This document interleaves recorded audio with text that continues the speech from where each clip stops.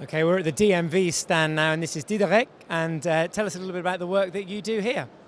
Hi, well, great. Yes, well, we're um, here from Friesland Campina and uh, DMV, DMV in specific. And uh, we look after uh, the food applications, uh, more detailed uh, performance nutrition segment. We've seen a great, uh, great boost in that, uh, that area, new uh, consumers entering the category. And yeah, we've got a great product. We have dairy proteins that we are marketing. And uh, from a nutritional point of view, it's great in quality. Uh, it's got all the uh, amino acids that you, that you require.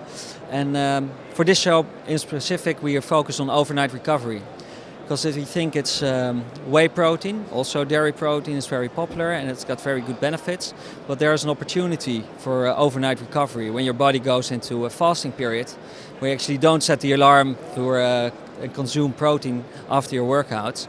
And that's what um, the benefit of a slow release protein has. For example, like caseinate. I think this uh, this picture shows it. It's uh, caseinate provides you a slow release of amino acid in the uh, contestant, and it also gives the satiety a benefit of that.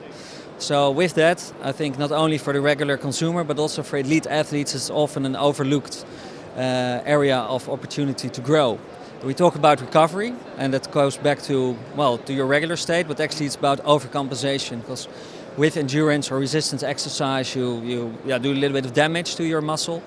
Um, and then in your recovery phase, you not only get to that back to that same level, but you overcompensate. You're actually growing, and to do that, uh, we've seen in the past and in uh, science, and even re most recent science as well, uh, protein plays a big part. And in that area, I think we got a great uh, things to offer for our customers it sounds like it's a real trend and it's really kicking off this year and, and also that you're ahead of the game slightly. Is that how you feel as a company that, that you're leading the way? Well, fair enough. I mean, the uh, I think the adoption of protein uh, in the market is uh, is there. Uh, is there today already. I think the um, the uh, the knowledge about different protein qualities is still uh, still something we have to educate our consumers and our customers in. Uh, our customers normally will recognize the difference between vegetable protein and the benefit, uh, the other benefits that dairy protein have over them. Uh, and then there's the distinction between, as I mentioned, slow and release uh, and quick release proteins.